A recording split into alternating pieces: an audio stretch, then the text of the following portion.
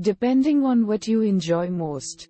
There are many career paths for budding scientists in the sciences.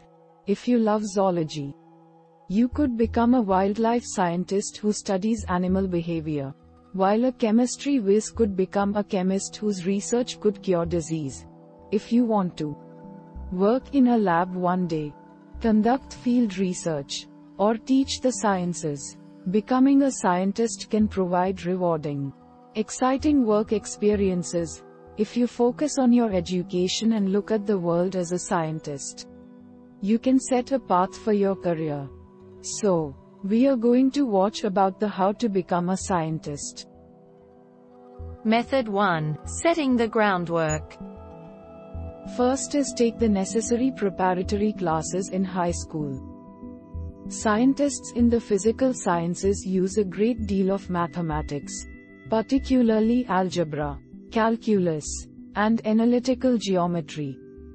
All scientists need a working knowledge of statistics, too. Step 2 Start out with the basics in college. You'll need to take basic courses in biology, chemistry, and physics. You can also select elective courses based on areas of interest. In a year or two, you can commit to a more specific branch of science. Step 3 Declare a major in a field that intrigues you. If you'd like or if your college's lack of options necessitates it. You can wait to declare something more specific later. aka grad school. A general major like chemistry is fine. 2. Step 4 Get an internship in college. It's best to start making connections and doing work as soon as possible. Contact one of your professors about an internship. If you want to be an environmentalist, contact the U. Fish and Wildlife Service. Finally, hone your writing skills. Read scientific journals and keep up with the field. You'll be in those journals yourself, in time. Look to their work for structure and the basics of a good scientific paper. Method 2. Getting a higher education. First is go to graduate school. Most scientists have at least a master's and more likely a doctorate. Most graduate programs take at least four years. And possibly longer, depending on the nature of the research. Step 2 Land a research internship just about anywhere. In grad school, you'll need to look for a research internship for your specific area of interest. The number of professors that are working on something that speaks to you is going to be quite small. Tap into all the connections you've made to find something that fits you like a glove. Step 3 Participate in a postdoctoral program. In addition to this, you'll be doing three or so years of postdoctorate research. It's common for scientists to go through four years of undergrad, around five years of higher education, and three years of research. Step 4 Keep your knowledge up to date. In smaller fields, and some larger ones, you'll get to know all the names in these journals.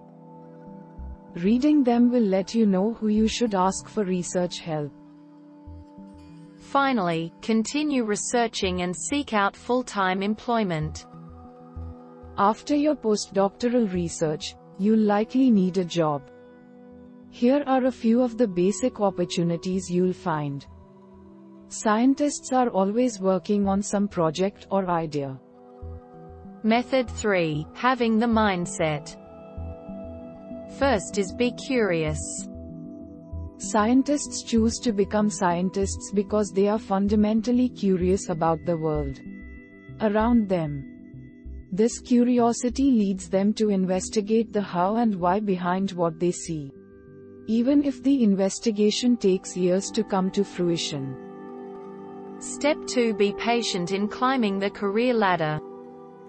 Some jobs only require a bachelor's, while others may require a master's or even a doctorate. If you're not in a place where you can spend a decade making a lower income, this could be a viable alternative.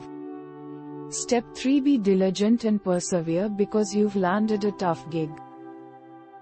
It's been said that, taking IQ into account, quantitative skills, and working hours, jobs in science are the lowest paid in the US, things are going to be tough for a while. Step 4 Have the need to always keep learning. Every scientist does a seek out knowledge. Whether it's reading peer reviewed journals or attending seminars, you'll always be learning. Finally, be patient, observant, and think outside of the box.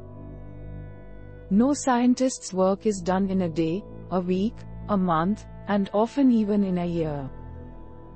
In many cases, like clinical trials for example, you won't get results for years.